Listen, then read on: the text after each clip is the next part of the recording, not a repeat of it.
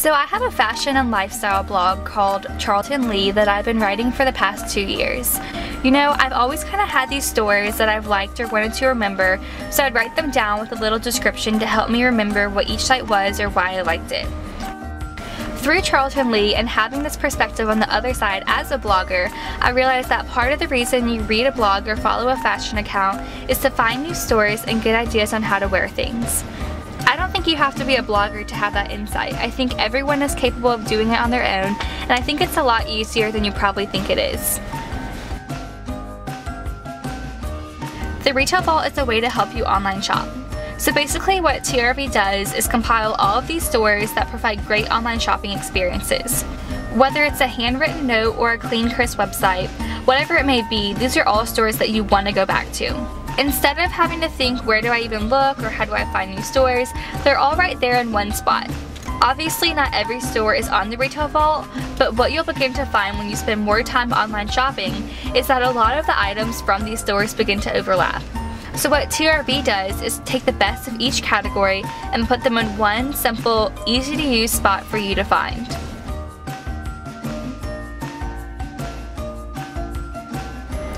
I love the idea of a vault, where it's this special, almost secretive space where you can find the insight and tips and tricks that no one has wanted to tell you up until now.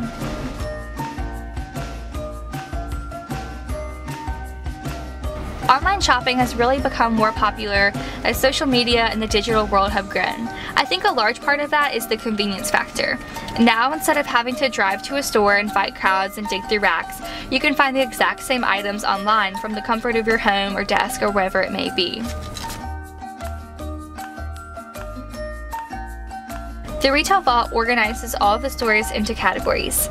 Each category is organized by a specific style, but the stores often overlap within that. For example, one of the categories is swimwear, but there are tons of stores not in that group that offer swimwear. The stores that do fall under the swimwear category, though, are going to be solely focused on swimwear, which makes it easy if you don't want to filter through dresses and shorts to find a swimsuit.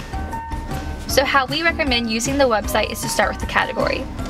Once you go to a category, all of the logos of the stores that fit in that group are at the top of the page. If you click on a logo, it will open a new tab which will take you directly to that store. Then below the logos are three inspiration collages that show you how you can wear that style. The inspiration collages are diverse so that everyone can find something that they like. The items in each inspiration collage are from the stores in that particular category, with the name of the store next to the item so you can easily see where it's from. The collages show you a glimpse of what the stores have to offer, and they also give you inspiration and ideas on how to wear different items.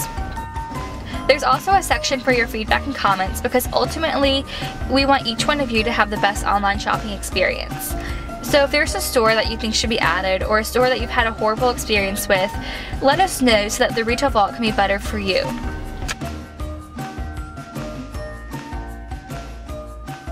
Thanks for watching and have fun shopping!